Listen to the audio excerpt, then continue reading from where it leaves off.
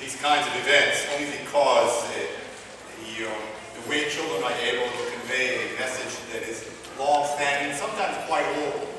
We forget, of course, the, the background behind this. And the background really stems from the fact that uh, Jesus was born, but he's coming again. Sometimes we forget that behind the story is also a commitment from God.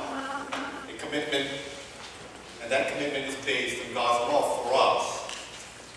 Let me tell you a real, very short story.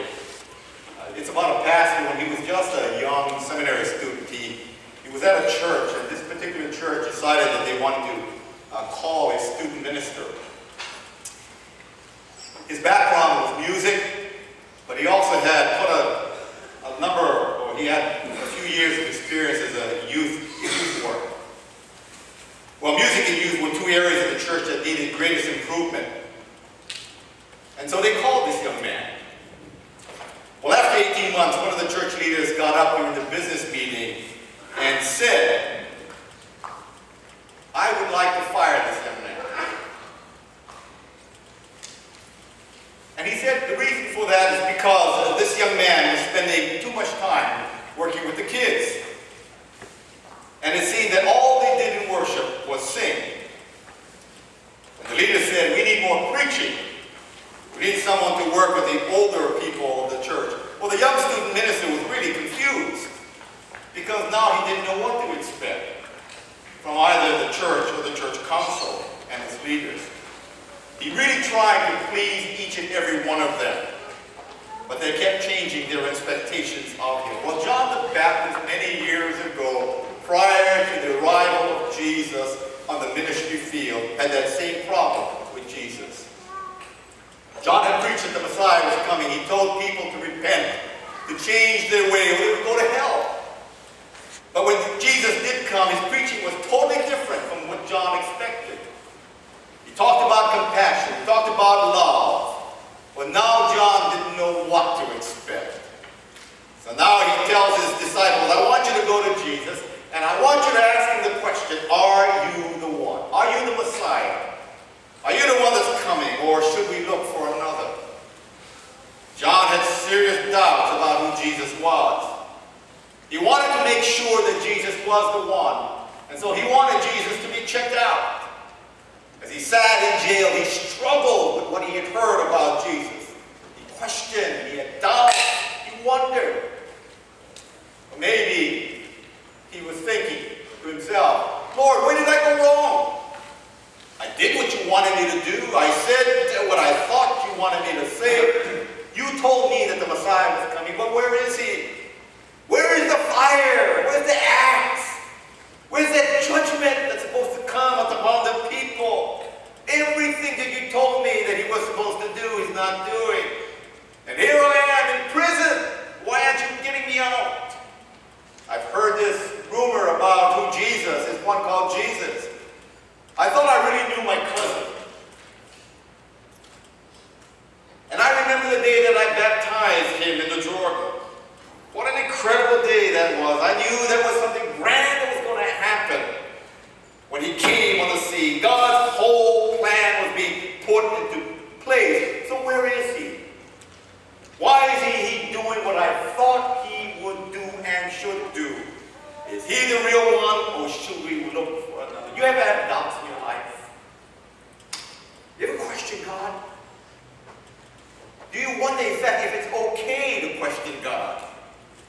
Or do you shy away from questions of doubt because you don't want people to have an opinion of you that may wonder whether you're a Christian or not? In fact, as a Christian, you ever have doubts or questions that even your faith may be wavering? Paul Tillich, this incredible German theologian, one that I had a difficult time understanding while I was in seminary, said this. God doesn't stand aloof or apart from our questioning. Rather, God is in the struggle of doubt, making himself known through it. Doubt, therefore, is a vital part and element of the faith which justifies. Has there ever been been a time in your life when you might have cried, Are you the Christ? Or shall we look at another? When your life gets really tough and you see innocent people suffering, that seems to be an endless happening in our world. In the same state of Colorado, a young man goes into a school with a shotgun with the intent killing his teacher simply because he had a disagreement with that teacher. But he shoots another instead and wounds another. When we face the world that's locked in this grip of one meaningless war after another, when we witness the destruction of nature because human greed seems to be preeminent and the desire for comfort seems to be draining the world of its resources. When we choke on pollution, every day when I get up, I hope and pray that there won't be another fall. because otherwise I'll be doing exactly what I'm doing right now, choking on my sinuses. We cannot but cry out, if you are the Messiah, Lord, why? Why, why, and must we look for another? You know what? I wish my faith can all answers. You know that faith is a risk you take. You see, faith is a life of trust. It's not a certainty or security. God never promised you or me to answer all of our questions. God never promised you or me a life without stress. But there's one thing he promised. He promised to give himself. With all the dangers and all the risks of personal encounters. Our faith is not a faith without doubt, but faith within doubt. Our hope is not in the answers we possess and we hope to gain from God, but in the one who owns us, who possesses us. This one thing I do know. I may doubt God, but God never doubts me. We may not know everything that there is to know about God. But I guess what? God knows everything about us. Everything about us. All the things we hide from God, Knows us. And knowing all of that, the good news is that He still loves me. And He will never let me go. And so John, at his doubts, he questioned he wanted, but he didn't stay with those doubts. He sought answers. He sent out his disciples to ask Jesus if he was the one, if he was the Messiah. Look what Jesus did for John. He says in verses 5 and or 4 and 5 these words. He says, Go and tell John what you see and what you hear. The blind see the sight, the lame walk, the lepers are cleansed, and the deaf hear, and the dead are raised up, and the poor have good news preached to them. Jesus answers John's questions not with words, but he tells the disciples of John what has been done in the name of Jesus. The blind see, the deaf hear, the lame walk, and the dead are raised again. Jesus didn't come with the good grim news of just repentance, but the good news of the gospel which says you are forgiven. You are made whole. You are cleansed.